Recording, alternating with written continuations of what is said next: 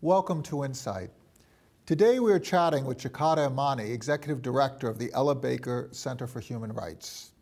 Jakada has led the center in successful campaigns to uplift communities of color, produce green jobs, and replace youth incarceration with rehabilitation programs. Prior to his work for the Ella Baker Center, he led other nonprofits focused on issues of poverty and justice.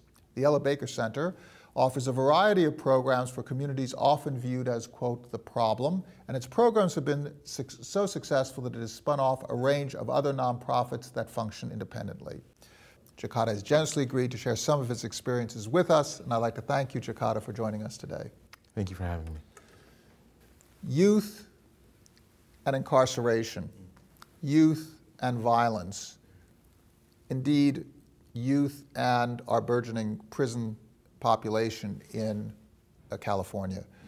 Talk about the impetus for the organization and how you address this, this seemingly intractable problem. Yeah. Well, thank you for having me. Um, you know, the Ella Baker Center uh, came out of really this need to stand up for folks who are most left behind. Um, when our founder, Van Jones, began the Ella Baker Center, really uh, the, there was this problem of police, uh, police violence uh, in communities where people were routinely brutalized, young people in particular, standing on street corners, hanging out at parties in and around the Bay Area, and, in fact throughout the, the country. Um, and a lot of traditional civil rights leaders had backed away from this because of the war on drugs. They had seen that sort of drugs were flooding into low-income communities and communities of color, and they didn't want to be any part of that. And to be fair to the to the officers, they're they're confronted with an intractable situation as well. They're given this task to perform. There's a lot of fear uh, around this this whole process of interacting with communities that that are uh, encased very often in violence and poverty and, and some of the issues on, on the urban side. Yeah, I mean, often these officers are completely unprepared for uh, being a part of these communities, completely scared of these communities, and sometimes, oftentimes, make matters worse. So, you know, they come into communities where they don't know a soul, um, and then it's their job to go in and figure out who's who. And uh, what we were seeing was that young people, as uh, particularly young people of color in whole, were being seen as, as criminals or potential criminals. Um, and so we wanted to do something about that work. We first started off doing that work with, an, with a, a project called Bay Area Police Watch. Um, and out of that work, we sort of grew to understand that it wasn't just young people being jacked up on the streets of San Francisco or the streets of LA, but that there was actually a part of a bigger problem uh, uh, uh, of California's booming prison system. And that young people were, were really the, the raw material into that system, and that we needed to do something about it. And we launched a campaign called Books, Not Bars, to fight for as much as what we did want as, as to fight against what we saw as they're not only robbing young people of their individual future, but robbing California of its future. So did the system become an, uh, almost a supply chain um, and an indoctrination chain where people who started off on the edges were then educated into being more mainstreamed into um, uh, the, the type of counterproductive behaviors. They, they get introduced almost um, casually into environments that reinforce these counterproductive behaviors as opposed to uh, to alternatives to those counterproductive behaviors? I would frame it slightly differently. Okay. That young people who are uh, find themselves pulled into the criminal justice system, uh, upon return, their options are fewer and fewer. Their options are severely limited, particularly for young people. If you are incarcerated even at the local level for six months, awaiting trial or awaiting placement or taken out of your home, you return to school and you're six months behind. All your friends have graduated or moved on to the next grade and you're back in a, right? And sometimes you can't go back to the school that you're attending. Sometimes you're taken out of your home. So your entire support systems, your entire world is turned upside down. You're given very little resources to deal with it and you're told go figure it out. And the resources were invested in this process as opposed to creating other opportunities for, for, for this youth uh, consistently. What we've seen is that, you know, uh, instead of funneling those resources into strengthening that family or that community, they're funneled into institutions which suck up more resources. So now California spends $11 billion a year uh, incarcerating people in the state of California. And so we spend $216,000 per youth and $50,000 per adult to keep them incarcerated. At the same time, for a high school student, your kids or your viewers' children, uh, they'll spend less than $10,000 a year to educate them. That's just out of whack priorities. And so Books Not Bars was brought into existence to actually tackle that problem, to reverse that trade-off.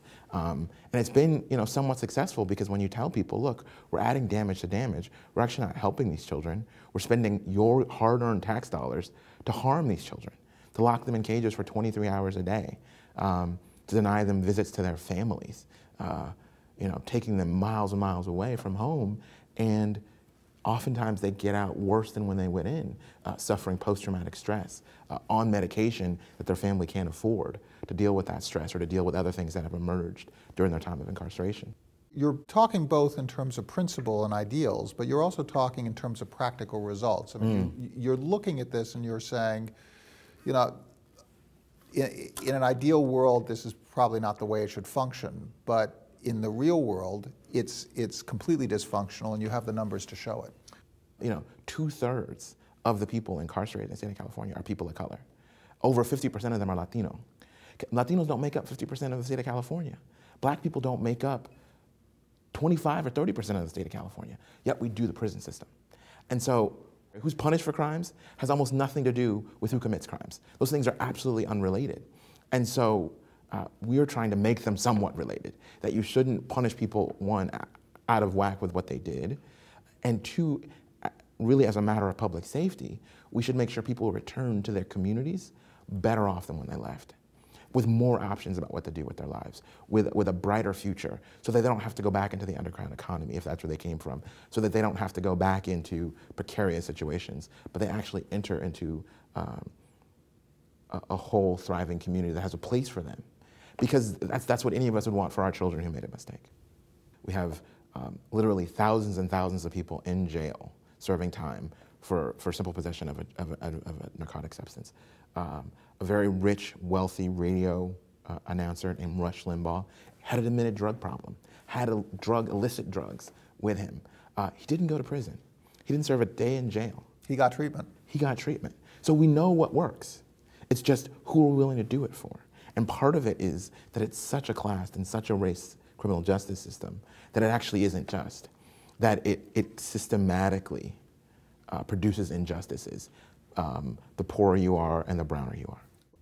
Are you uh, basically informed by the body politics surrounding race and poverty on a global scale, and then you take those ideas and bring them down to earth in, in Oakland yeah. Um, to implement those programs in, in particular ways that benefit the people of Oakland. Yeah, and, and the people of the state of California. So we're a statewide organization that uh, uh, uh runs, statewide pol- runs statewide policy campaigns.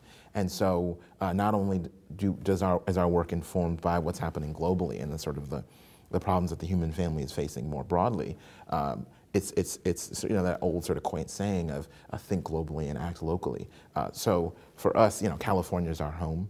Um, we're based here, and, and we believe that just like we led the way in terms of cleaning up the air, in terms of setting uh, fuel standards for cars and pollution standards for cars. That California, you know, is the eighth biggest economy in the world. Mm -hmm. If we make a green turn and decide that we're going to build a clean green future and not just build bridges and highways to nowhere, if we decide that we're going to put low-income folks in communities of color first, given that that's the majority of Californians and we want to see them do well and thrive, well, we can set a global agenda in that way. Um, in terms of, of your programs, talk about your programs and talk about how you approach uh, addressing these, these issues. We're named after Ella Jo Baker, who's one of the unsung heroes of the civil rights movement. And uh, what she did was she really mentored and, and guided the young folks who, who started out during the sit-ins in the 60s in the, in the Deep South. Um, and she provided those young people uh, the space and the resources and support to develop themselves as leaders of the civil rights movement.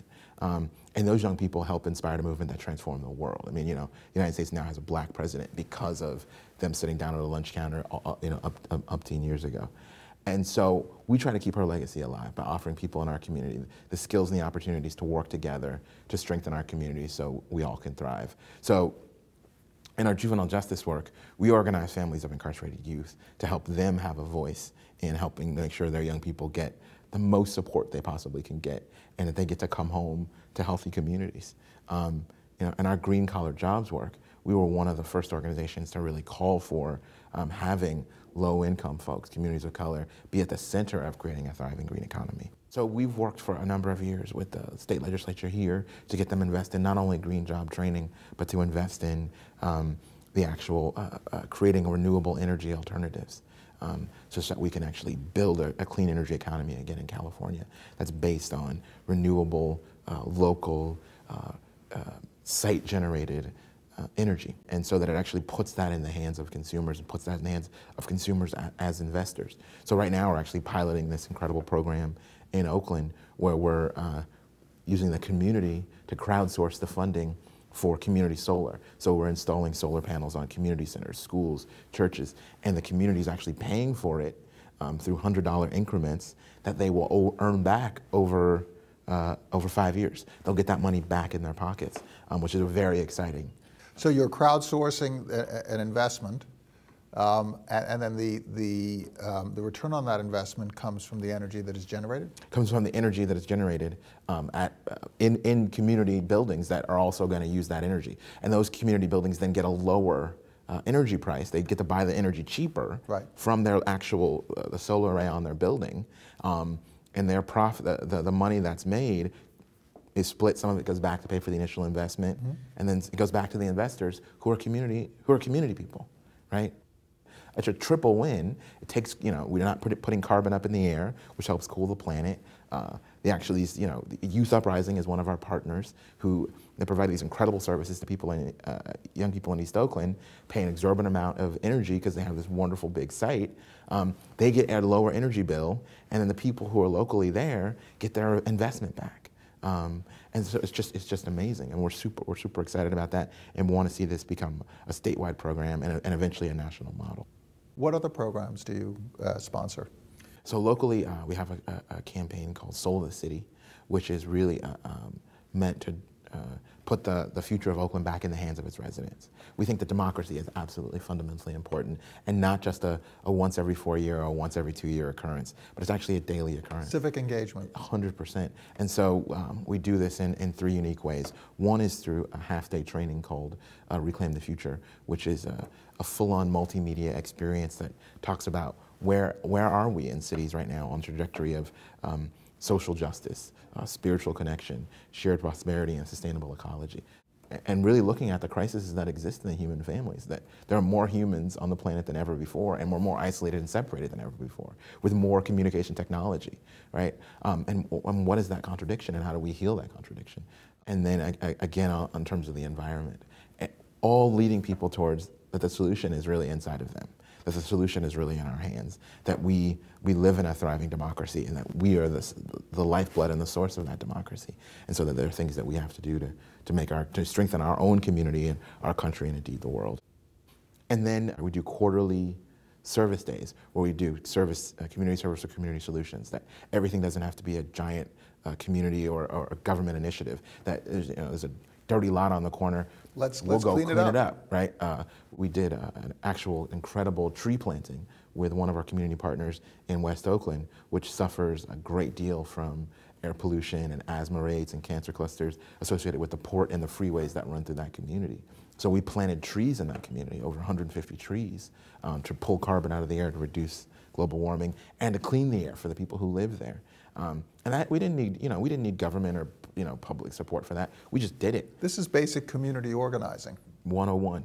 101 is, is bringing the community to do it. Taking the community organizing philosophy that was developed during a political movement mm-hmm. and creating out of that uh, a combination of, of education, of civic engagement programs, mm-hmm. of sort of very practical approaches to solving problems like a dirty lot. That 100%.